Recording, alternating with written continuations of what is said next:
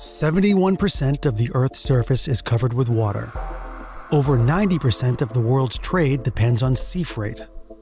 Nearly two thirds of the world's population live in coastal areas. Trade and human activity on the world's oceans continue to increase. And so do the threats. When safeguarding maritime borders and coastal areas, the key to success is full situational awareness and the ability to manage and control all agencies involved.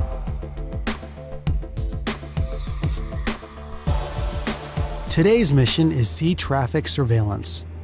The Saab 340 MSA is monitoring AIS data and searching for unusual activities a ship at sea has unexpectedly reduced its speed, which could indicate that it is being boarded or trafficking goods illegally. The Military Sea Surveillance Center requests visual support from the maritime surveillance aircraft. The operator on board reads the ship's AIS data and transmits the new course and distance to the pilot. The optical sensor is extended from its protected position a handset is used to operate the pan tilt zoom sensor. To facilitate cooperation between pilot and operator, the sensor image is also displayed in the cockpit. The operator makes radio contact with the ship and simultaneously monitors the sensor images of the cargo.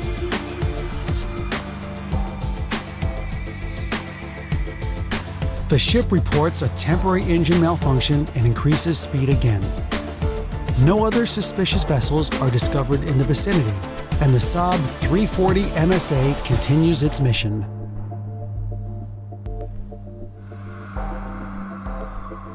Hours later, a situation occurs that requires the staff's full attention.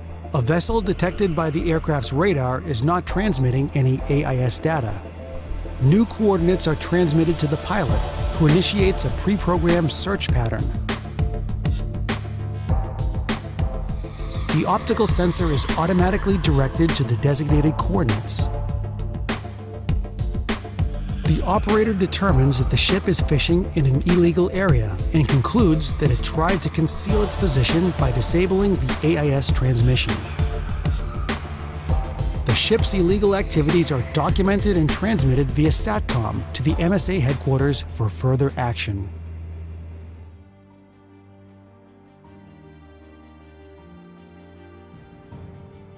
The Saab 340 MSA, a cost-effective multi-role surveillance aircraft for detection, classification, and identification of maritime contacts.